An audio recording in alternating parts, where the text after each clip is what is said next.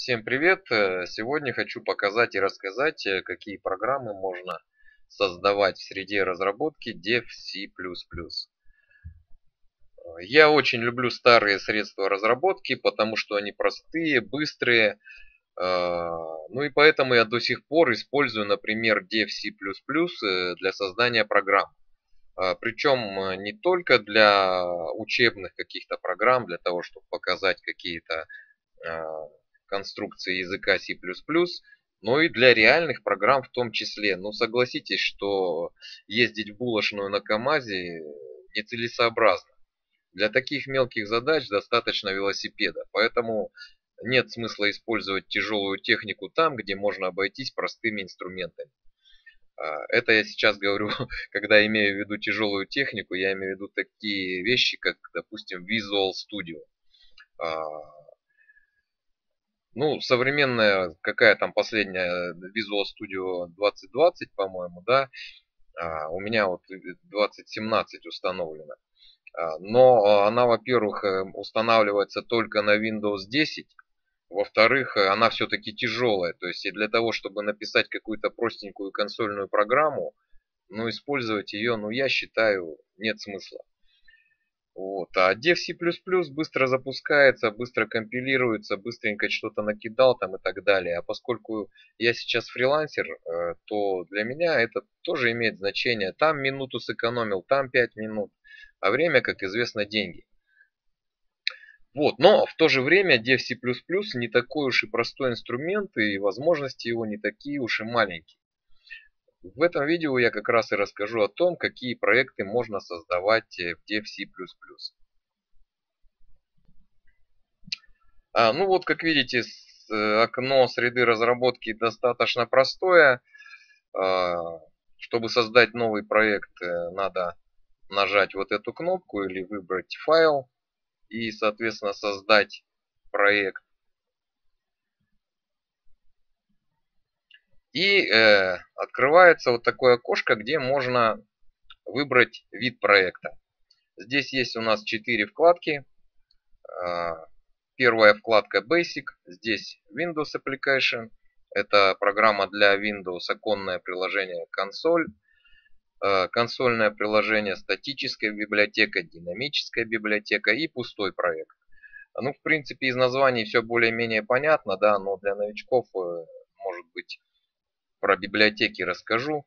DLL это динамическая библиотека. А, в принципе, все, наверное, да. Этому можно, наверное, посвятить отдельное видео. Э, поэтому зря я, наверное, вам пообещал. Да, нет, не буду рассказывать про библиотеки. Ну, думаю, что вы хоть что-то о них слышали. Ну и пустой проект это вот просто пустой файл, где нет вообще никакого исходного кода. А, ну давайте для примера создадим консольное приложение. Здесь вот имя проекта э, надо записать. А, по умолчанию русские буквы, но я вам не советую использовать русские буквы, лучше латинские буквы использовать э, во всех названиях. Нажимаем ОК и создается проект уже с какой-то заготовкой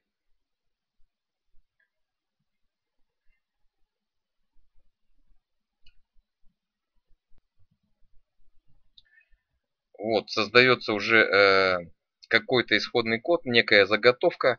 Можно сказать, что это готовая программа, его можно откомпилировать, запустить. И по такому же принципу э, создаются и проекты других видов.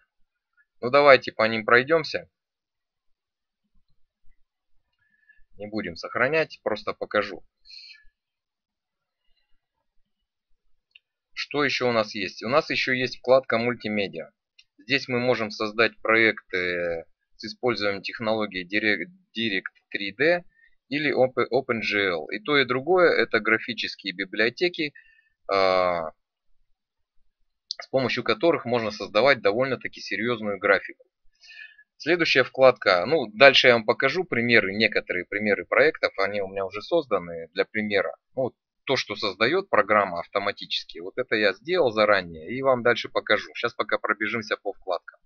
Следующая вкладка Win32, здесь можно, здесь тоже несколько шаблонов, то есть вот эти вот все э, ярлычки, назовем это так, это не что иное, как просто некие шаблоны. То есть выбирая тот или иной вид проекта, вы просто, э, программа просто помогает вам создать ну, нек, некую базу, основу вашей будущей программы.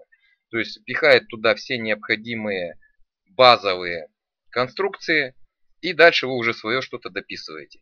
Вот файл эдитор это э, шаблон, можно сказать так. Программа простой файловый редактор. MDI эдитор это многооконное приложение. То есть тоже текстовый редактор, но только э, редактор, который позволяет с несколькими файлами работать одновременно.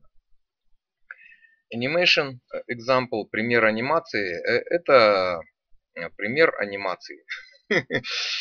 В общем-то, все понятно из названий. Просто рассказываю для тех, кто не очень знает английский. Ну и следующие консоли. Здесь просто примеры. То есть это все консольные приложения. А, это пример простейшей программы, которая выводит надпись Hello World. Это ввод, программа, которая демонстрирует ввод данных. Это простенькая игра по угадыванию чисел. И вот эти вот вещи, это а, для работы с потоками и с э, параллельными, так скажем, программами. Так, ну и э, сейчас покажу вам примерчики. Ну, например, вот анимация. То, что мы видели, да. Давайте уж покажу снова. Вот если мы создадим анимацию, вот этот вот выберем, то мы э, получим примерно такую программку. Я ее сейчас запускаю, она уже готова. Как видите, здесь просто демонстрация. Э, Какой-то рисунок просто скачет по окошку если как бы отталкиваясь от стенок, да.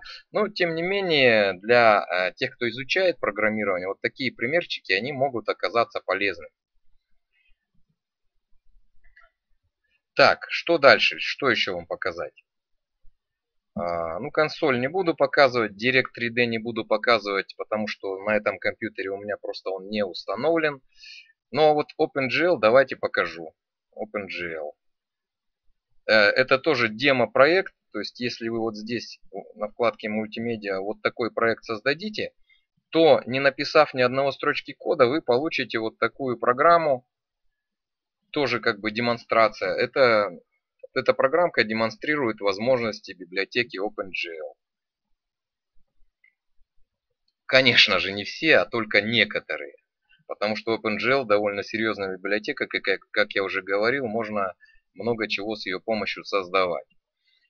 Так, ну что еще? Что еще? Так, ну пустой проект, понятно. Вот давайте редактор, файловый редактор. А, опять же, вам не надо писать ни одной строчки кода, а если вы выберете э, вот этот шаблон, файловый редактор, то DevC++ автоматически создаст э, вот такую как бы заготовку, оболочку, простенький файловый редактор, где будет меню, открыть файл, сохранить, выход и о программе. Даже какое-то окошко есть о программе. Так, а, ну давайте еще э, для новичков опять же. Вот в этом редакторе можно одновременно работать, тут можете, можно что-то писать, да, потом сохранить. Можно работать только с одним файлом одновременно. Чтобы другой файл, файл открыть, этот надо сначала закрыть, а потом открыть другой.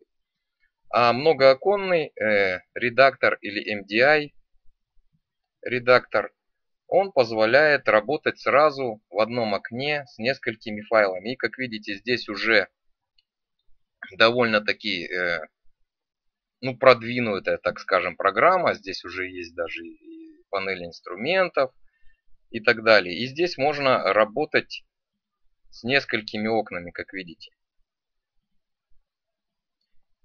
Их можно расположить каскадом, горизонтально. Ну, как обычно, если вы работали с, много, с, много, с многооконными приложениями, то вы все это знаете. А, это вот этот шаблон, MDI Editor. Так, что еще? Что еще вам показать? OpenGL показал. А, ну, о, о, о, в принципе, ну, вот эти вот все штучки вы можете сами попробовать, если интересно. Не вижу смысла тратить на это время. Ну и Win, Winamp это простое приложение Windows. Оно вот здесь вот, если вы вот это вот выберете, то будет создано просто вот такое пустое окно. А дальше вы с ним, если захотите, то сами что-то можете делать. Ну что ж, э, надеюсь, э, вам было полезно. Как видите, не так уж мало всяких штук можно создавать с помощью DevC++. Лично я этим пользуюсь активно, потому что э, нас на биржах фриланса довольно часто попадаются простенькие задания, ну, относительно простые, где не нужно использовать какие-то навороченные средства разработки, а достаточно вот э, таких простых, как Dev C++ или там Free Pascal и какие угодно. Ладно, до следующих видео. Пока. Подписывайтесь на канал, делитесь с друзьями. Увидимся, услышимся.